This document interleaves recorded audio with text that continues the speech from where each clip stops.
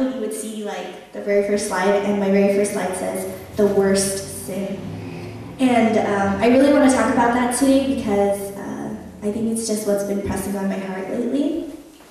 Um, I was watching this sermon by Francis Chan, and he was talking about what the worst sin was, and he acknowledged that all sin is equal, like no sin is above the other.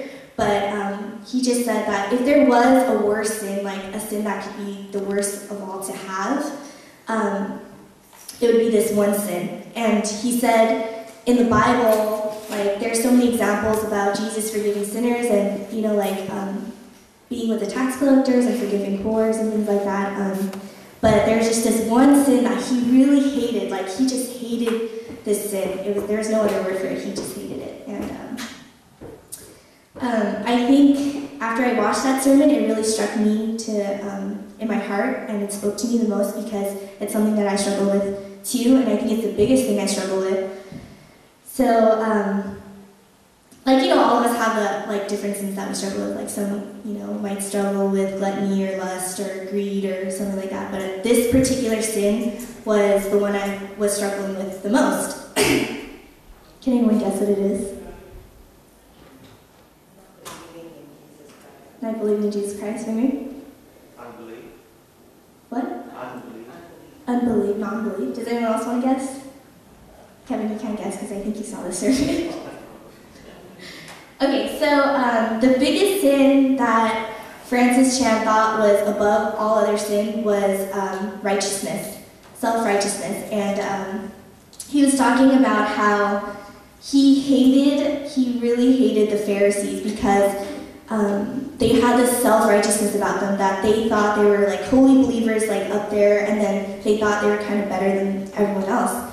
And um, we all know that jesus hated the pharisees and i think when he said that it was just a really it struck me really hard because um, i was reading about how um, he called the, the tax collector to come and join his one of 12 apostles and he forgave the whores, like I said before. And um, yeah, so there's this one verse in the Bible in Matthew 23, and it said, Woe to you, teachers of the law and the Pharisees, you hypocrites! You clean the outside of the cup and dish, but the inside are full with greed and self indulgence.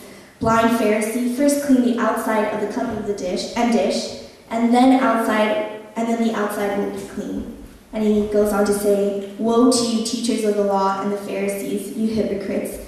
You are like whitewashed tombs, which look beautiful on the outside, but on the inside are full with, with the bones of the dead, with the bones of the dead and everything unclean. In the same way, on the outside you appear to people as righteous, but on the inside you are full of hypocrisy and wickedness. So when I read this in the Bible, it's they're like back-to-back verses. I didn't like take them out from two separate um, um, chapters or anything. They're like right after each other, and he kind of said it when he's being repetitive like that. Nathan always says it's really significant in the Bible, and I was reading that and I was thinking, man, like he said, "Woe to you!" You know, he's just like, he's just not. I don't want to say condemning, but just saying like, I'm just so disgusted with how you guys are pretending to be clean on the outside, but are really dirty and greedy and self-indulgent on the inside. And um, um, yeah, that's kind of something what I struggle with. And he went on to say like, um, first clean the cup on the inside and the dish on the inside, and then your outside will be clean as well. And um, in the same way, you know, appear like he said, you appear righteous to people, but in the inside are full of hypocrisy. And I think that's a really big issue that Christians have today is that um, we come off, or like all of us come off as as um, self-righteous and kind of better than everyone else. And I kind of got that sense when it when I went to City Impact. Um, I went in there like, yeah, I'm gonna save some lives today, you know, like I'm gonna do this, like I want to preach the gospel or whatever. And like I had such a pride and proud attitude, and I was going to serve that it kind of nullified the fact that I was serving.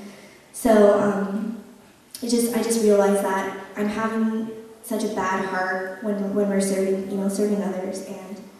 Um, also, other other places in my life that I really see this this sin that's just coming up, and really dampen my walk with God. It, it honestly just like decreases my walk with God. It makes me super um, angry all the time and prideful. And um, I guess like a term that we can relate to now, because self-righteous, we don't really we don't really use that like in a daily basis, like oh I'm so self-righteous. But we use the word pride a lot. Like I'm so proud. I'm so proud that I did this at work. Or I'm so proud I got an A on my test. Or I'm so proud that I went to City Impact this week or whatever. You know, like we use the word pride a lot, and we have a lot of pride in ourselves, and or at least I do. And um, I was just thinking, like, imagine how much more meaningful our, our lives would be, how much more love we would be able to give if we if we just let go of that pride. And so. Um, I guess another kind of testimony that I wanted to share was um, at school when I'm in the hospital. Um, like, there's this like uh, saying where um, that we say that nurses eat their young. And it's kind of like really graphic or whatever, but it's basically saying how like older nurses like that, been nurses for 50 years, um, really narc down on the student nurses or new nurses because you know they have so much experience. And me, like, I'm really timid in the hospital because I'm a nursing student and I don't want to like step on anyone's toes or anything.